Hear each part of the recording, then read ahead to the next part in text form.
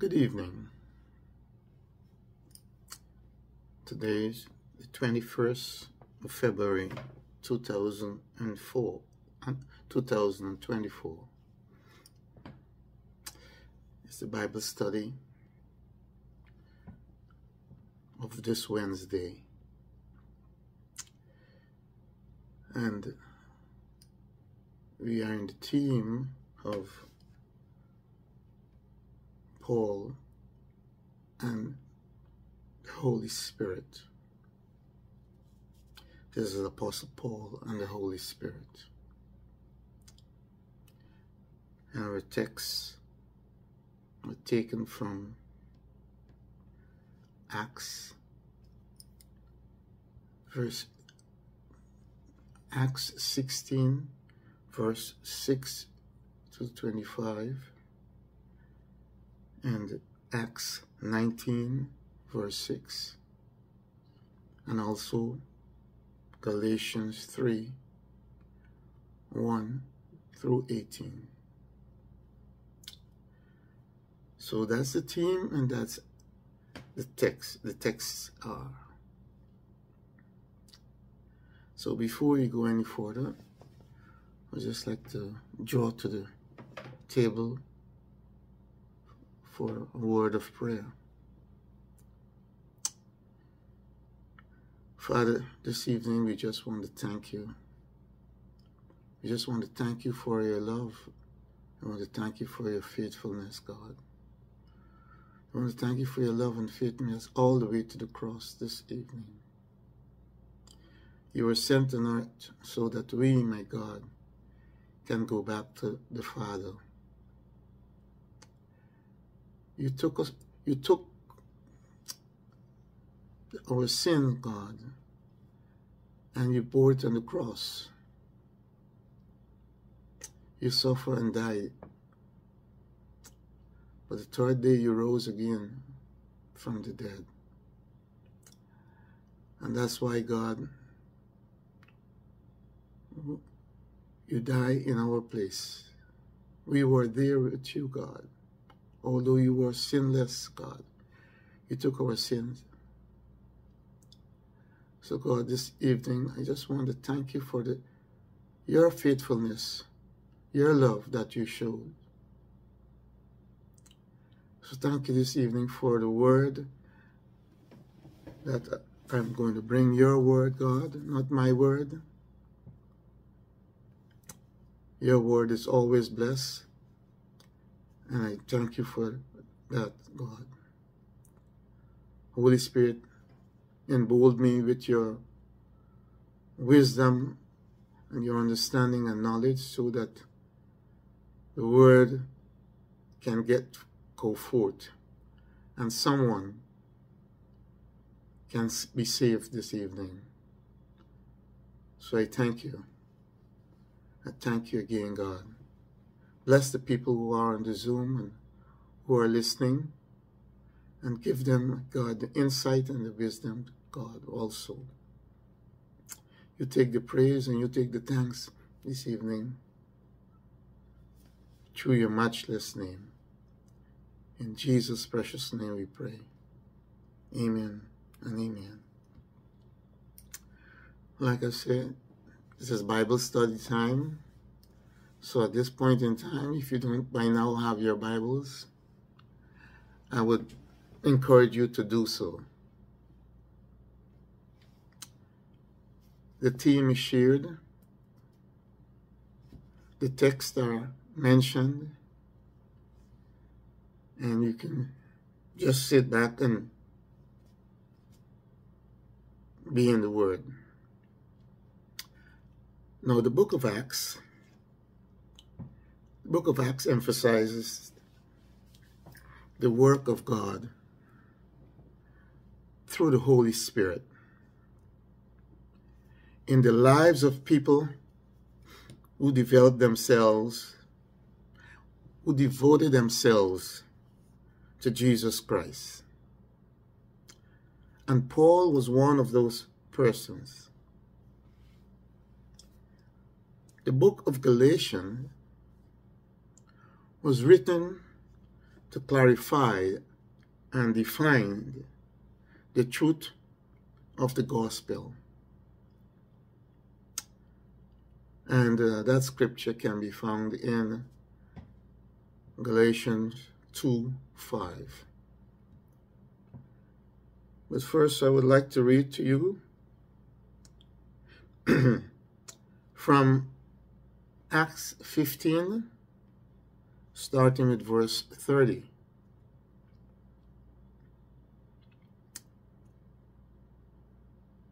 And the Word of God says, So when they were sent off, they came to Antioch. And when they had gathered the multitude together, they delivered the letter.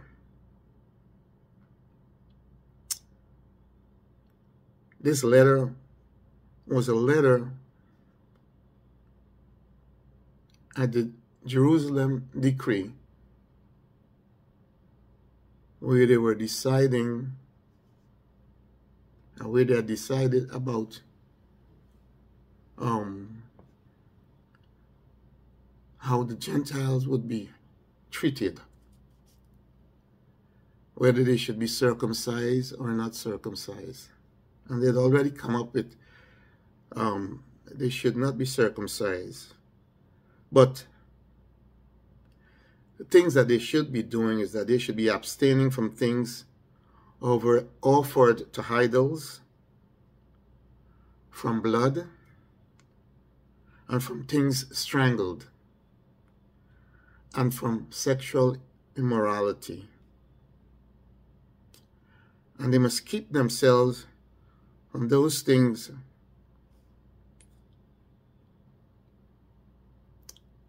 So that was the letter that was sent. That was taken to the, the new convert in Antioch. So again, see, so when they were sent off, they came to Antioch. And when they had gathered the multitude together, they delivered the letter. When they had read it, they rejoiced over it, over its encouragement. Now, Judas and Silas themselves, being prophets also, exhorted and strengthened the brethren with many words and after they had stayed there for a time, they were sent back with greetings from the brethren to the apostles. However, it seems good to Silas to remain there. Paul and Barnabas also remain in Antioch, teaching and preaching the word of, of the Lord, with many others also. Then after some days, Paul said to Barnabas, Let us now go back and visit our brethren in every city where we have preached the word of God and see how they are doing. Now, Barnabas was determined to take with them John called Mark.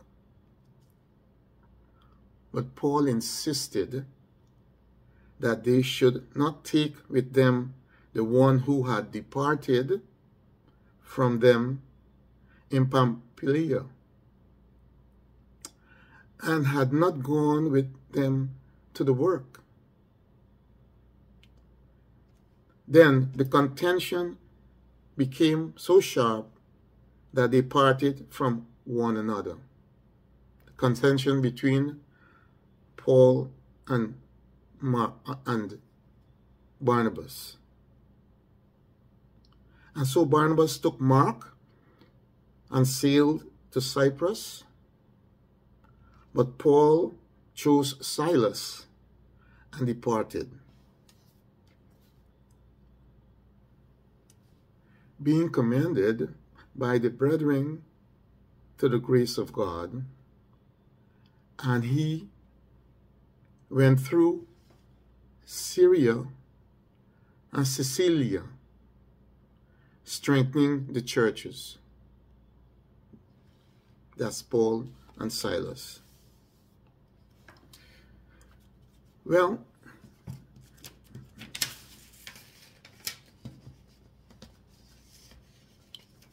in chapter 16, starting verse 1, then he came to Derbe and Lystra, and behold, a certain disciple was there, named Timothy. Prior to that, prior to the going into Derbe and Lystra, Paul and Barnabas, who parted company over John Mark,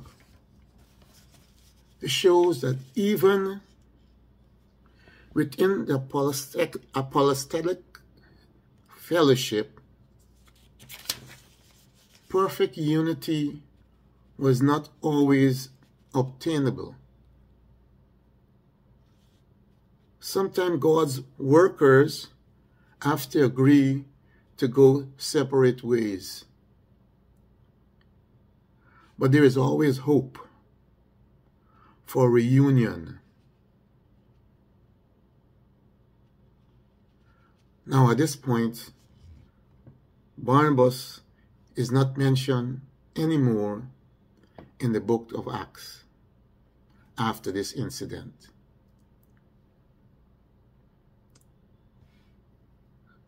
Continue to read from chapter 16.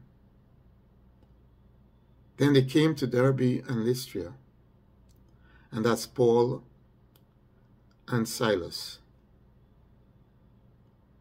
And behold, a certain disciple was there named Timothy,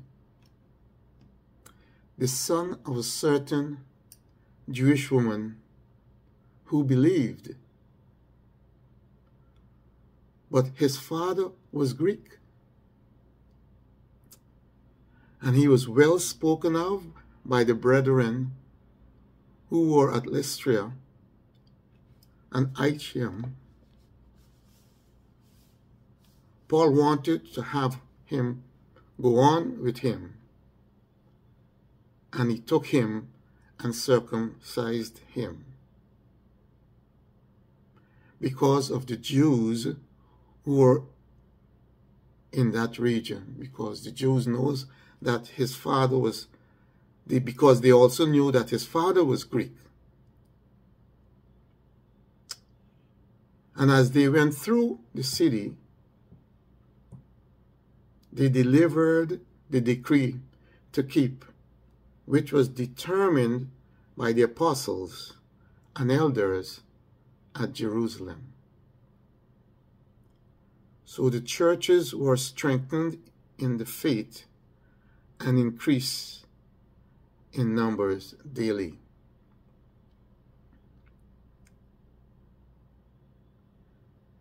Starting with verse 6, it says, Now, when they had gone through Phrygia and the region of Galatia, they were forbidden by the Holy Spirit to preach the word in Asia. After they had come to Mysia, they tried to go into Bithynia, but the Spirit did not permit them. So passing through Mysia, they came down to Troas. And a vision appears to Paul in the night. a man of Macedonia stood and plead with him. This is in the vision, saying, Come over to Macedonia and help us. Now, after he had seen the vision, immediately he sought to go to Macedonia, concluding that the Lord had called us to preach the gospel to them.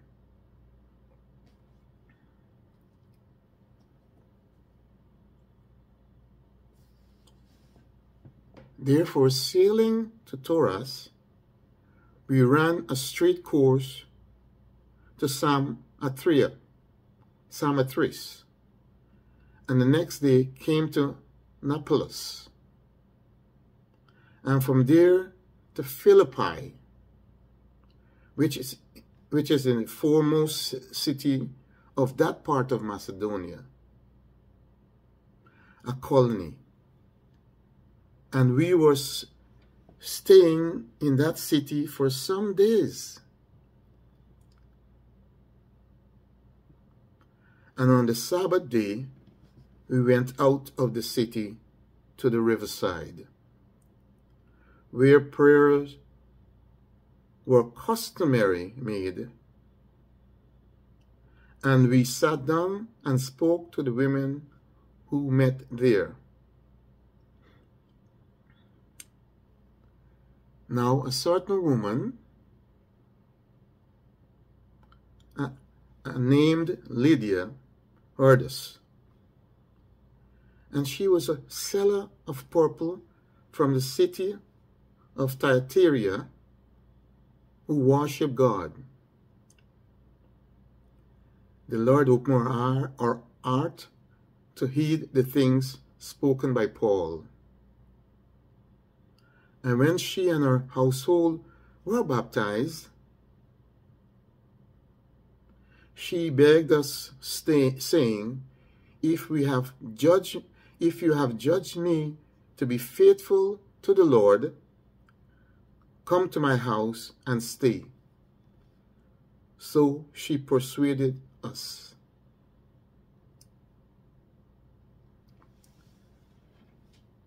Now it happened as we went to prayer that a certain slave girl possessed with spirit of divination met us, who brought her masters much profit by fortune telling. This girl followed Paul and us and cried out, saying, These men are the servants of the Most High God who proclaim to us the way of salvation.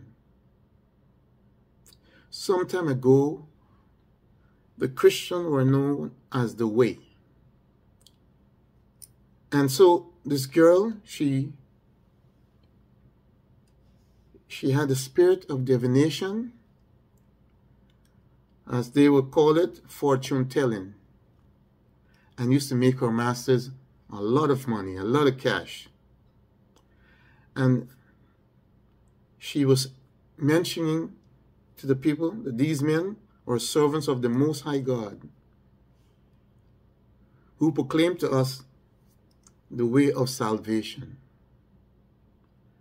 And this she did for many, many days. But Paul, greatly annoyed, turned and said to her, to said to the Spirit, I command you in the name of Jesus Christ to come out of her. And he came out that very hour. And Paul, but Paul, greatly annoyed, turned and said to the Spirit in her, I command you in the name of Jesus Christ to come out of her. At this point in time, I want to go to Philippians, Philippians verse 2, 10 and 11. Paul said to the woman of, with divination, I command you in the name of Jesus Christ to come out of her. Philippians 2 10 and 11 says that the name which is above every name, that name which is above every other name, that at the name of Jesus every knee shall bow of those in heaven and of those on earth and of those under the earth, and that every tongue should confess that Jesus Christ is Lord, to the glory of God the Father. That the name of Jesus, every knee shall bow, of those in heaven and of those on earth, and of those under the earth, and that every tongue shall confess that Jesus Christ is Lord, to the glory of God the Father. So Paul knew in speaking the name of Jesus that that spirit of divination would have come out of this woman at that hour. But when her masters saw that their hopes of profit was gone, they seized Paul and Silas and dragged them into the marketplace to the authorities. And they brought them to the magistrate and said, These men, being Jews, exceedingly trouble our city.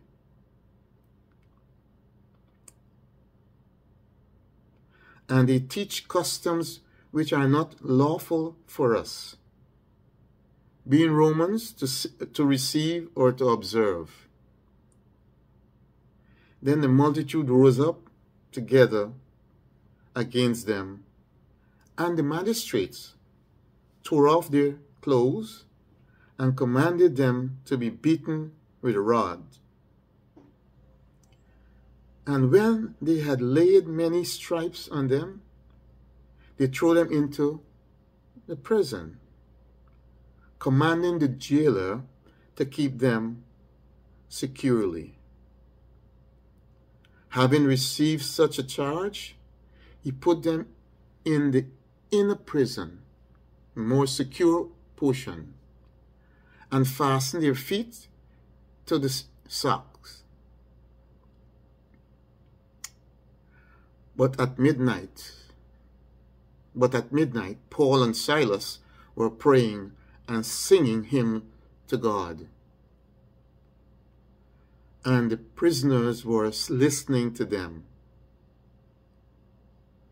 Suddenly, there was a great earthquake, so that the foundation of the prison was shaken, and immediately all the doors were open, and everyone chain were loosed, and the keeper of the prison awoken from deep sleep and seeing the prison door open, supposing that the prisoners had fled, drew his sword and was about to kill himself. But Paul, with a loud voice, saying, Do yourself no harm. We are all here. Then he called for a light. It tells you that the place was in darkness. So the, the jailer called for a light and ran in and fell down, trembling before Paul and Silas.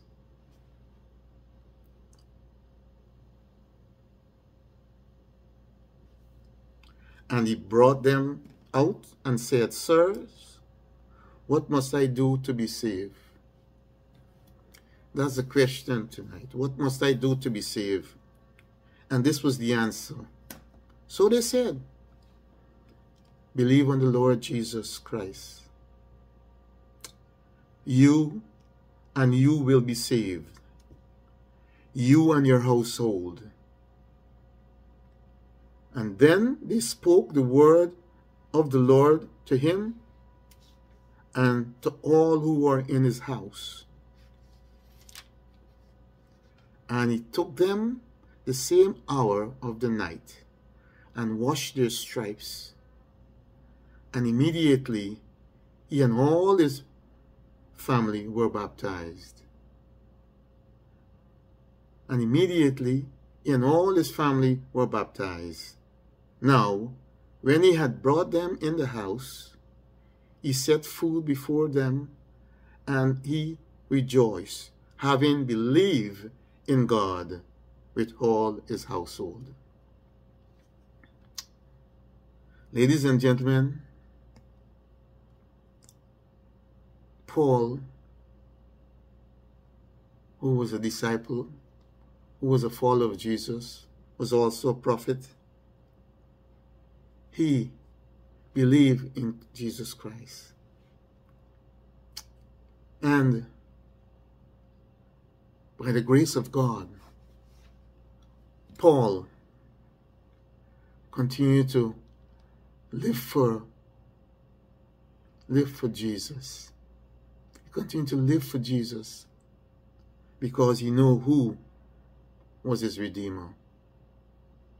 This evening, I trust that the Word of God was read to you, not preached to you, and there's something in the Word of God that you might have gleaned from. So continue to read the Word of God, continue to study the Word of God, and see what Paul, with the Holy Spirit, with the combination of the Holy Spirit and Paul, what they have done throughout the book of Acts. May God add a, a blessing to this word, and may you stay blessed. In Jesus' precious name I pray. Amen and amen. Luke 6:38 says, "Give, and it shall be given to you, good measure, pressed down, shake together, and running over." So you know what time it is? It's time for you to give. And in order to do that, all you need to do is go to our church's website. Go to www.fgany.org. That's www.fgany.org. And when you get to the webpage, all you have to do is click give and it will open up where you'd be able to pay your tithe, your offering, or give to any special ministry that you would normally give to. So don't forget, go to www.fgany.org and give.